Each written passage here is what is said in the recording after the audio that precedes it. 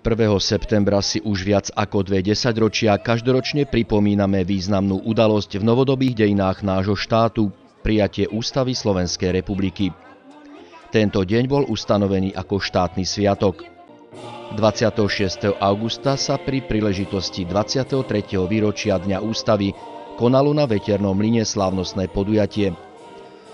Okrem predstaviteľov mesta Holíč sa na ňom zúčastnili predseda Trnavského samozprávneho kraja Tibor Mikuš, starosta partnerského mesta Hodonín Milan Lúčka, prednostovia okresných úradov Skalica a Senica Marian Honza a Vladimír Kocourek i riaditeľ Úradu práce, sociálnych vecí a rodiny v Senici Ján Kovár.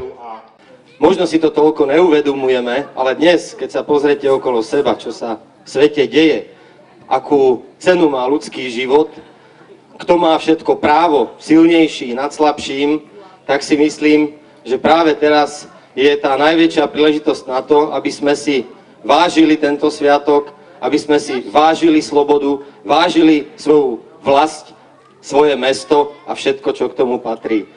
Bola prijatá ústava novodobej, modernej Slovenskej republiky. Ústava, základný dokument štátu, ktorý je zrovnateľný s tými ústavami, ktoré majú demokratické štáty v Európe. Je to veľmi významný deň. Odvtedy sa náš národ naozaj zaradil medzi moderné národy Európy.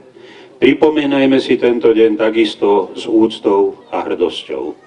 Po príhovoroch vyvrcholil oficiálny program slávnostným zapálením Vatry ústavy, sprevádzaným hymnickou piesňou Kto za pravdu horí.